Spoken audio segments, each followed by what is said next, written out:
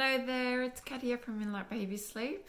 Um, I wanted to show you uh, one of the sleep aids um, that I haven't really spoken to you about much um, or haven't promoted enough. Um, and it's uh, something that you will find uh, useful now that the temperatures are changing um, as we head into spring, here, especially here in Melbourne. And yeah, I guess especially here in Melbourne, that the temperature fluctuates so much from the day into the night.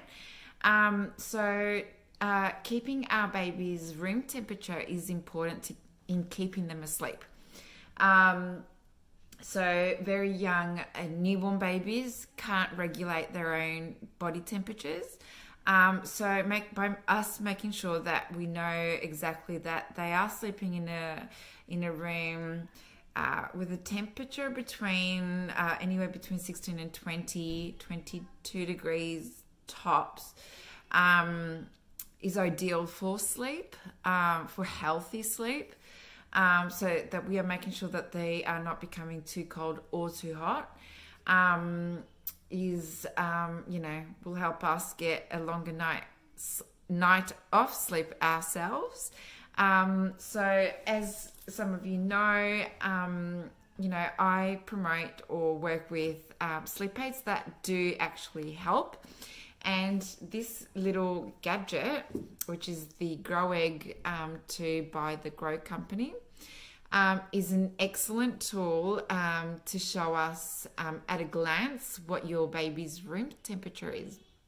So, um, this is the second version. Um, the first version was slightly smaller and had an internal temp, uh, thermometer, I believe, um, whereas this one is slightly bigger um, and um, has the thermometer on the outside, so it is more accurate.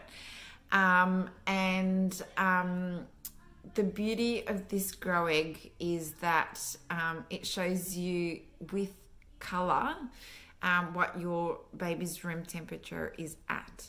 So a um, blue, and I'll show you the box. Actually, I'll plug it in first. Um, and the other um, upgrade or the other uh, improved feature of this Gro um, egg is that it comes with a USB connector where before it had a normal plug. So the USB connector uh, makes it more um, makes it portable so that if you do travel when we are outside of COVID restrictions, um, you can take it anywhere around the world. Um, so it gives you, um, you know, versatile um, traveling options. But um, anyway, we won't talk about that too much because it will make me that we can't travel. but yes, I'll, I'll plug it in and and I'll also lower the light so you can there you go. See? There you go. Okay there you go. So it is of a red color in this room because it is 27 degrees. I know that you might see it different way how I'm seeing it. Um, but it is this room in which I am currently in would be too hot for your baby to sleep in or um, you would um, so you have basically options to manipulate um, a room. You would either cool it down or make sure that your baby is laid appropriately. So using a really light tog sleeping bag um, or for example if a newborn is swaddled um, that they have less layers underneath the swaddle. Um, so i'll show you because i can't lower it in here I will show you. So here the Gro Egg would um, show or light up with a blue color to indicate a 16 degrees and below um, in the in the room. So in that case, you would either use a um, three and a half tog uh, sleeping bag to warm your baby up, or um, make sure they are appropriately um, layered, or obviously use a heater or a heating um, option uh, to make sure that the room is then at the best possible um, temperature, which would be between 16 and 20 degrees, according to this grow clock. Though I do uh, think that um, up to 22 degrees is quite okay for your child. Um, so you've got the the cold setting. Ideal would be the yellow.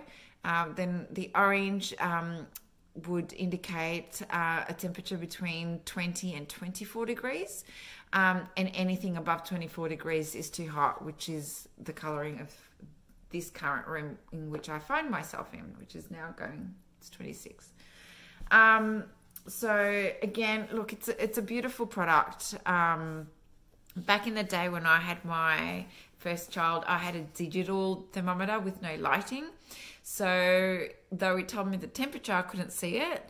Um, and I had to walk into the room, um, and it was this tiny little thermometer, um, and I had to shine a light on it or turn on the light um, for it to help me see the room temperature. Not ideal.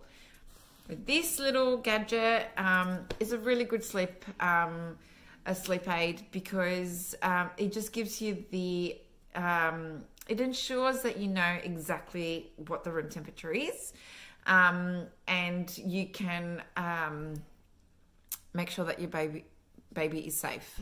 Um, again, I guess you know it's a beautiful, slick um, uh, product. Um, it's a silicone, so it's a really nice um, textured um, dome shaped egg. It is uh, yeah, it's soft, it's beautiful. Um, the thing, I guess, my favorite feature is that you can actually turn it off. Um, so down below, it's got a little button which um, helps you regulate the brightness level. So at the moment, it's on its uh, highest level, and then you can turn it down, down another level. So it's got the three, so it's brightness, medium, low, and then turn it off completely so that you can just quickly read um, the digital numbers. Um, but again, ideally, you want it to be shining on that um, beautiful yellow light, which again, it gives you dual purpose um, as a night light. So, say it was turned off during the night and you needed to check on your baby, you can quickly press the button and it would um, turn on that yellow light and it would give you enough visibility to see your baby. Um, you know, if you needed to change a nappy um, or even for feeding, it's enough lighting so that you can see around um, quite closely, uh, but not disturb your baby from actually waking up. Um, any night lights above the bed, the cot, um, will interfere with your baby's uh, sleeping rhythms because as the brain can detect light, it can actually cause your baby to wake up. So, again, this is why I recommend the Sleep Egg 2 um, because you can safely tell what the temperature of the room is, um, and it also indicates and gives you the information as to what tog um, of sleeping bag you should be using um, for each of the temperatures. Um, the Gro Company have these beautiful sleeping bags. Um, I don't actually stock them, um, but you can get like a series whether you want a um, you know a winter a winter tog and a and a, a winter um, and a summer um, sleeping bag and then manipulate the temperature with your heating and cooling at home. I think that would be enough. Um, and you would also use layers to um, also um, take off or increase underneath um, to also help with um, heating and cooling. Um, but again, checking the room temperature and using it as a night light for you for you to have that visibility, not your baby. Anyway, um, these are, look, I, I think they're super sleep, beautiful, great gift. Um, I wish I had one of these when I was um, a mother of a young bub.